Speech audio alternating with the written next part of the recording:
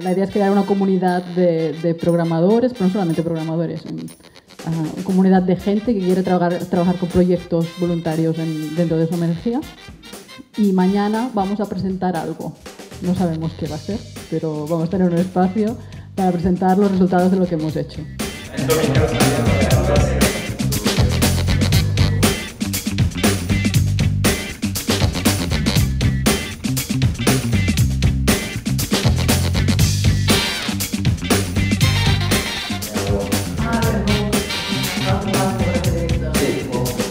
감사합니다.